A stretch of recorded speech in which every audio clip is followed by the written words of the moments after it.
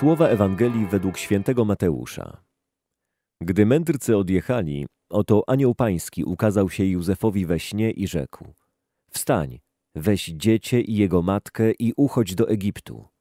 Pozostań tam, aż ci powiem, bo Herod będzie szukał dziecięcia, aby je zgładzić.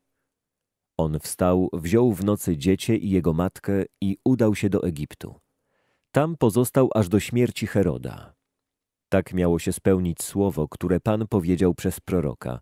Z Egiptu wezwałem syna mego. Wtedy Herod, widząc, że go mędrcy zawiedli, wpadł w straszny gniew.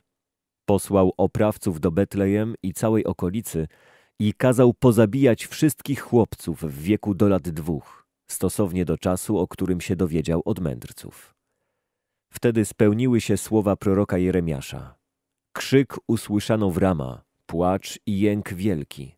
Rachel opłakuje swe dzieci i nie chce utulić się w żalu, bo ich już nie ma. Kilka dni po narodzinach Jezusa, może nieco później, król Herod wpada w szał. Zazdrosny o swój tron, każe wymordować wszystkie niewinne i bezbronne dzieci. Irracjonalna decyzja Heroda musi w nas budzić przerażenie, a może nawet złość. Krzyk rozlega się w rama. Ten krzyk nigdy nie ustał.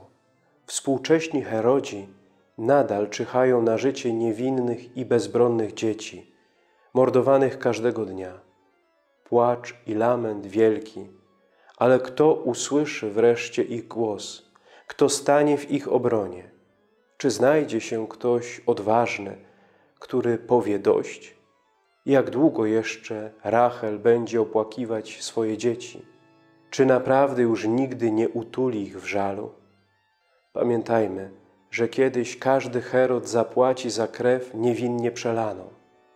Czy my możemy cokolwiek uczynić w tej konkretnej sprawie? Ależ oczywiście, że tak.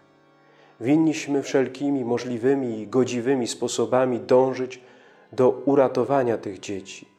Sposobów jest wiele, ale najskuteczniejszym z nich wszystkich jest modlitwa.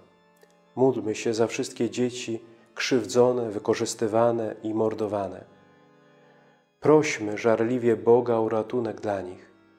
Nie zaniedbujmy także innych środków, tak, aby wreszcie Herod się opamiętał i odłożył miecz na bok. Od każdego z nas naprawdę bardzo wiele zależy.